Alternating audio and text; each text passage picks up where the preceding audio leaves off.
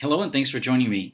If you've clicked on this video, I'm going to assume that you're ready to chat for a few minutes about Madama Butterfly by Giacomo Puccini, which is an opera that I recently had the opportunity to see performed live. Um, so let's spend a few minutes with Madama Butterfly. I saw a performance by Virginia Opera out at um, the George Mason University Center for the Performing Arts in Fairfax, Virginia. I saw a performance on March 23rd, 2019, and there is my ticket.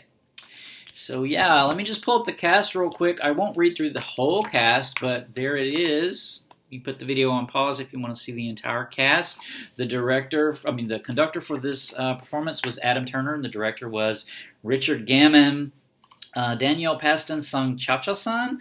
Our Pinkerton was Matthew Vickers, and Suzuki was Kristen Choi. That's the main kind of cast, but there are others, so there's the rest of the cast if you want to see it.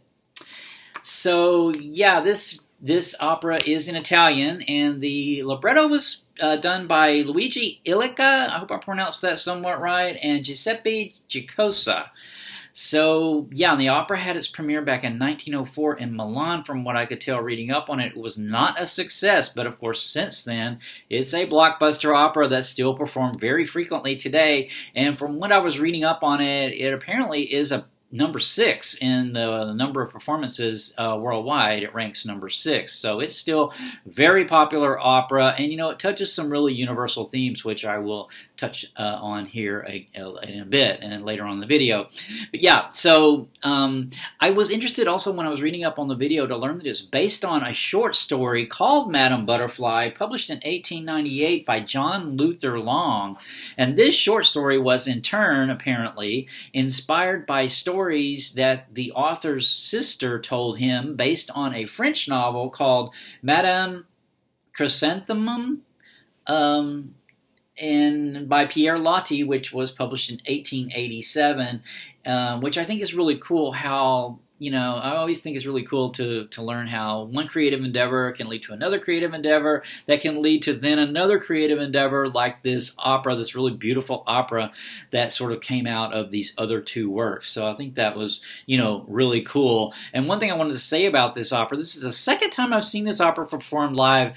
I saw this uh, performed by Washington National Opera, and it's one of the few operas, or if not the only opera, that I have not chatted. I did not chat it for a variety of reasons, um, you know, because I already had my channel. Uh, so this is the first time I'm actually doing a uh, opera chat on this opera, um, even though it is the second time I've seen it performed live.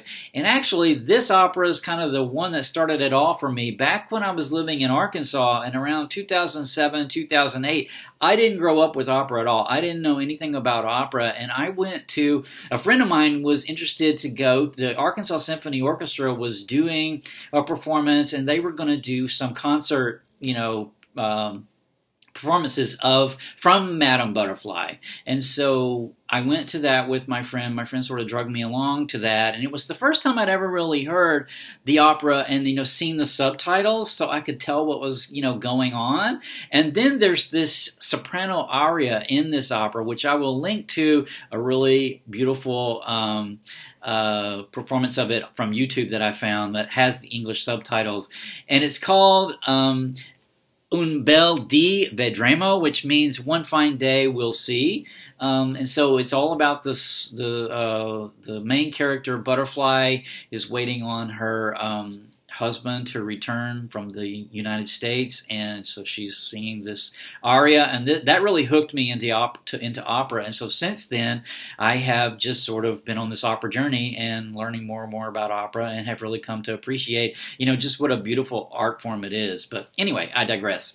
Let's get on to talking about specifically about Madama Butterfly. So the quick version of the synopsis. So it's in Japan, Nagasaki, Japan, in around 1904. 1903, 1904, very early 20th century. And there is an American sailor whose name is Pinkerton, and he's arranged to marry a, a young Japanese girl.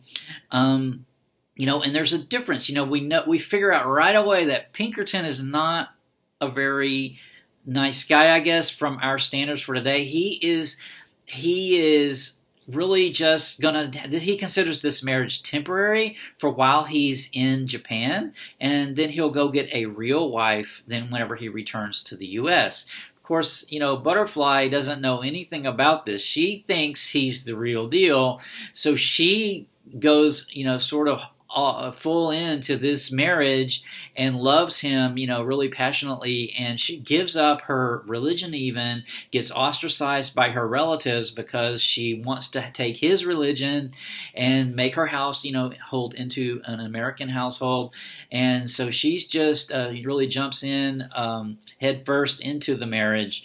So and then but he ends up leaving because he has to go back to the US you know she thinks he's going to return to her. In the interim time I think like 3 years have passed or something she has a child which he doesn't know anything about. And so she's really waiting on him to come back and so that's what this aria is, you know, that I mentioned, Un bel di vedremo, where she's just, you know, one fine day we're going to see his ship come in the harbor and everything, he's going to come back to me. And so she sings this to her, her maid, uh, Suzuki who uh, you know by this point is already figured out you know he's not going to come back. Well you know so because foreign men typically don't come back to to their wives there you know we we learned from Suzuki. So uh, butterfly gets offered from a marriage broker. She gets offered to marry another guy. She just will have none of it because she's just so has so much faith in her husband. You know this is misplaced faith. You know we as the audience already can tell based on um, on Pinkerton's earlier uh, behavior and, and words, what he said.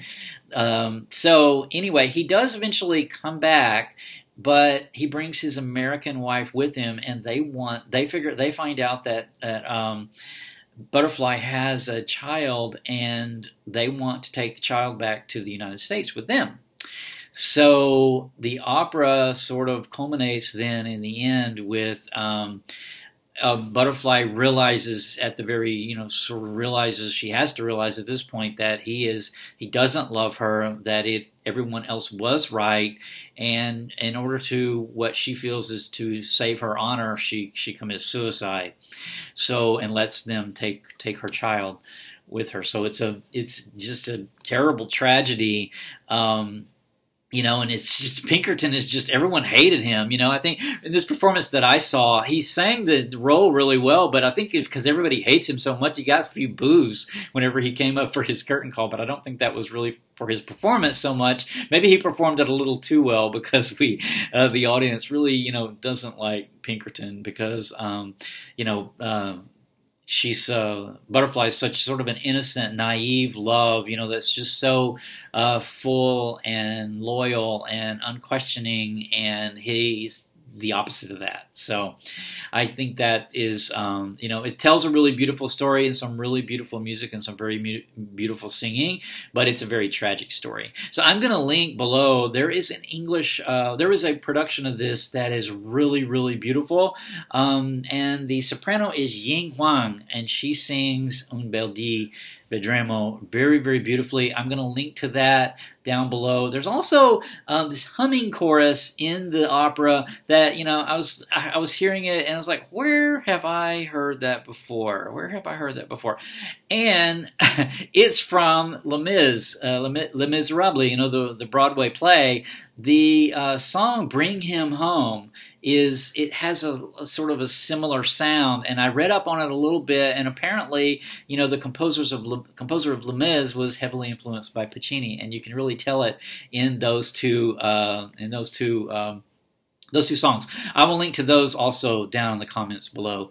So yeah, before I run out of time, um, one thing I wanted to say about the opera. So the opera, you know, why is it so popular today?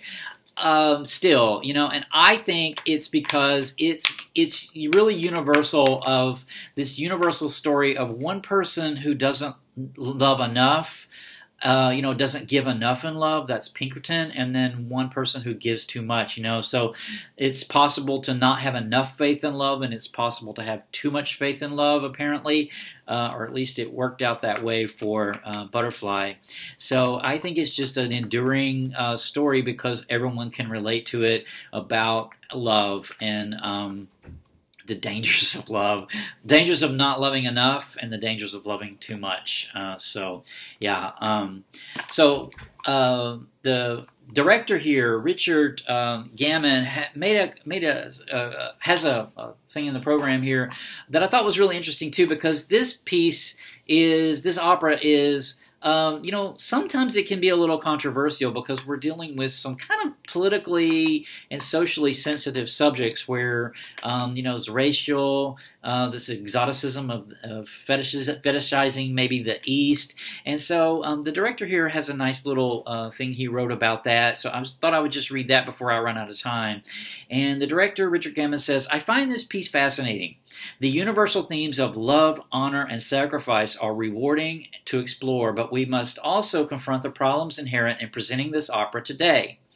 This opera can be treated as a museum piece one that is deserving of presentation but viewed at arm's length, to be looked at and discussed, although more for its beauty than anything else. But having the conversations about race and racial superiority, exoticism, gender roles, and suicide, while extremely difficult, are also very necessary in our continuing evolution as a society and human beings.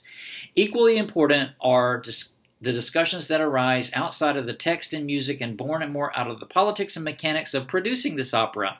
Topics such as colorblind versus color conscious casting, or how to present Japanese characters with a multiracial cast accurately but sensitively, especially when employing a color conscious process. I sincerely believe it is important for people of color to have a place at the table. The perspective of an Asian American director will inevitably differ from those without that personal history, and it is imperative to be given the opportunity to tell our stories from our point of view. So, yeah, you know, I've heard this opera criticized before because of non uh, Japanese women especially playing butterfly you know and, and sort of having the makeup to make them look more japanese. And um, you know so that's uh, one aspect. And then the other is just sort of trying to present it um, sort of as a modern piece. This particular production um, was set in that era of Japan. So it was really more of a traditional production. I think nowadays the opera is produced in all sorts of forms and not necessarily in 1904 Japan, but um, this particular performance was. So before I run out of time, I just thought I would read an, uh, something that Adam Turner, the, the artistic director and the conductor for the opera, um, wrote about the uh, what what Puccini said the, the opening night for this opera. Puccini said it was a real lynching. Those cannibals didn't listen to one note. What a horrible orgy of madmen drunk with hate. But my butterfly will not die. It is the most deeply felt and imaginative opera I have yet conceived. I know that I have written a genuine living opera and that it will certainly rise again. So yeah, 115 years later, it's still out there, um, bringing beauty to the audiences that hear it, and so, thank you, Puccini, for sticking with uh, Madame Butterfly. Your critics, when it when it premiered, were proven wrong. Uh, yeah. So, with that, I think I will leave this opera chat. I am behind a book chat. I'm behind another opera chat, and I have an opera composer's book tag coming up that's been sort of circulating around on BookTube, and I was tagged for that uh, tagged by Richardson Reads, Mark over at Richardson Reads. So I will get a response up to the Opera Composers book tag very soon. So stay tuned for that. Until next time, take care. Bye.